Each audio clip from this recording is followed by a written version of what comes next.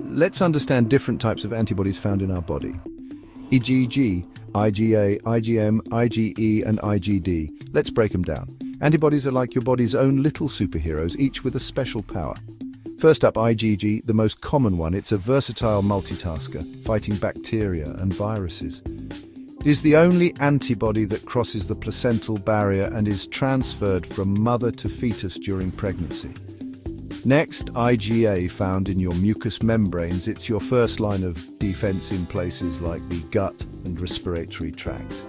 IgM is the big guy, the largest antibody, great at forming early defense responses. Then there's IgE, it's the one responsible for those pesky allergies, but also fights parasites. Lastly, it's uh, still a bit mysterious, but plays a role in starting immune responses. Uh, so there you have it, your body's defense squad ready to protect you at all times. Stay curious, stay healthy.